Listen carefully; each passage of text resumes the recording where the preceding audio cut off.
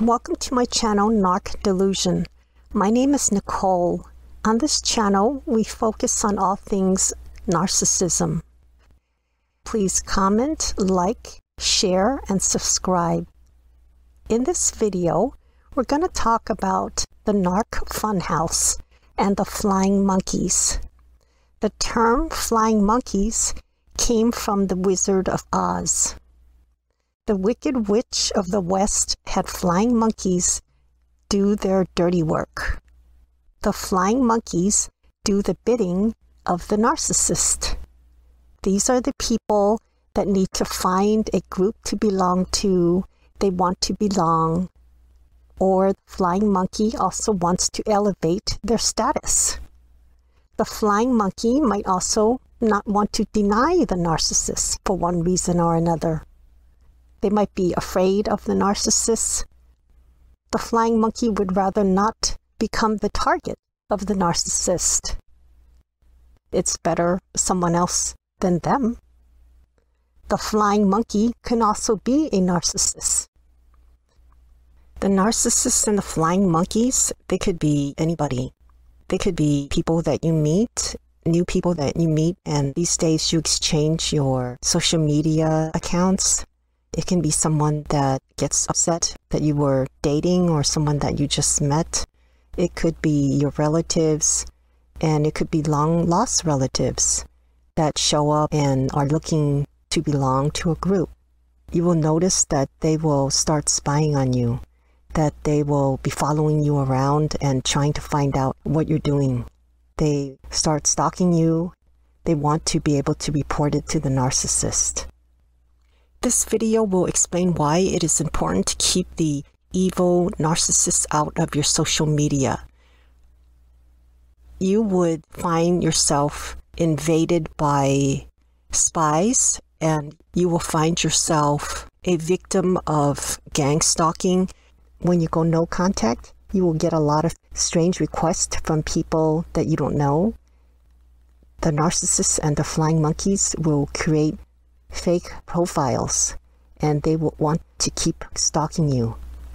The Narc Funhouse is where the flying monkeys go around in circles, waiting like vultures. The narcissist wants to trap the victim in their funhouse the narcissist wants to keep the laughs going by devaluing the discarded primary.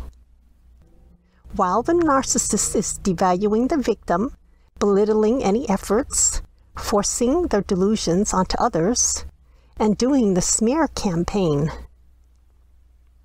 Evil narcissists now feels very empowered. Now they are flying high on top of the world in their mind, the cheap, petty evilness becomes legitimate power. The arrogant and egotistical narcissists want to believe their own hype. The narcissist is having so much fun coordinating and controlling all the movements in the funhouse.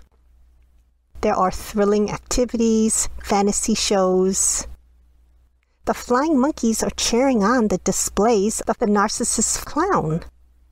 There are also lots of competitive games, and best of all, the grand prize, future faking. The narcissist flying high like an acrobat, soaring above, branching from trapeze to trapeze. The narc is still in the funhouse, amused by all the funhouse mirrors. The flying monkeys are circling around for a chance to get in on the fun and the games. The narcissist is putting on a fantastic show, audience, and the flying monkeys. Has this ever happened to you? Has a narcissist ever tried to lock you in the narc funhouse? When the primary supply left the building, the narcissists and the flying monkeys were still whooping it up. When you first go no contact, it takes a while for the delusional narc to catch up. The narcissist is so sure that the Hoover attempts will work again. Like a trained monkey, the narcissist keeps pushing the levers again and again. still not getting it. The narcissist will try a number of different tactics. When the first one doesn't work, they have a few more tricks up their sleeve. Even years later, they keep trying to hoover the victim back in the narc funhouse. But the MPV has long left the building. The construct is collapsing as the narcissist runs low on fuel. As time goes by, they are out of gas. Finally, the narcissist is eventually lifted out of their delusional fog. The bottomless narc is now back to being on empty again. The mask is cracked, the meat suit is fragmented, the smoke is gone, and the cracked funhouse mirrors is the only thing they have. The narcissist doesn't want to be in the broken down, dark, and dusty funhouse by themselves. The game is long over. The narcissist is depressed and in a worse state than before.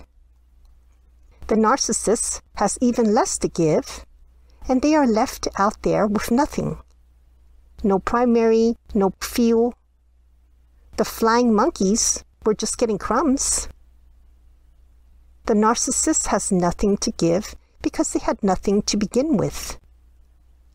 The primary supply was left on the side of the road with the delusional narcissist believing that they can maintain all the fun and all the games.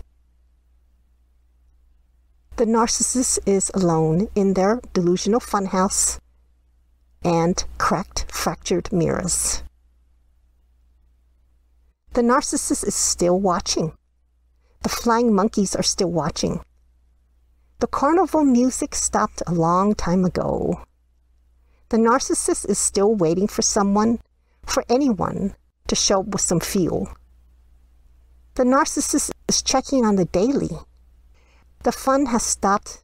The movie is over. The narcissist is waiting for their next victim to go on the demented carousel once again. The narcissist loves social media. This is where they get attention when they are running low on supply. This is also how they play people against each other. Has this ever happened to you? Has a narcissist ever tried to lock you in the narc funhouse? What's your experience with flying monkeys? Please comment, like, share, and subscribe.